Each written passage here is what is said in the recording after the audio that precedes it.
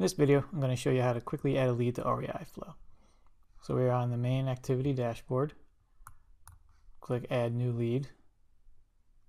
First thing you always do when adding a new lead is click Save.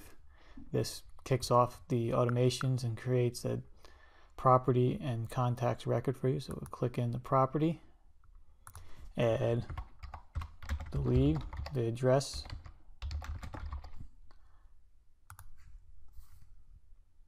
see the map comes up. Now we'll add some detail record. So we can add some details to the property. Click Create Details Record.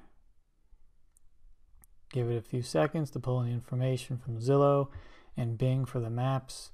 Now you can see a record has been created. There's three bedrooms and two bathrooms, and it's in Morris County. That information comes from Zillow. So we clicked into the detail record. We see the overhead map from Bing and that's the location. We see the street view from Google. You can see the broken down property information, the street, city, county, state, zip, country, longitude, and latitude, and the type of the place is single family. Bedrooms and bathrooms, this information comes from Zillow.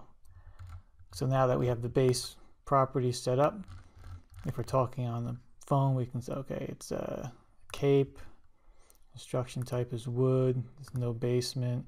It's a one-car garage, and so on down the line. As you talk to the, the seller, you can add this information in. There's over 40 plus fields of information to add.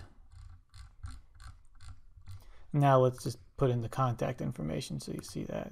Go back, back to the lead. Add the contact information.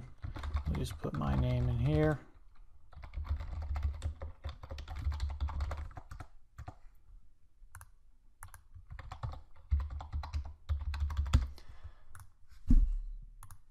And there you go, full property lead in REI lead, REI flow.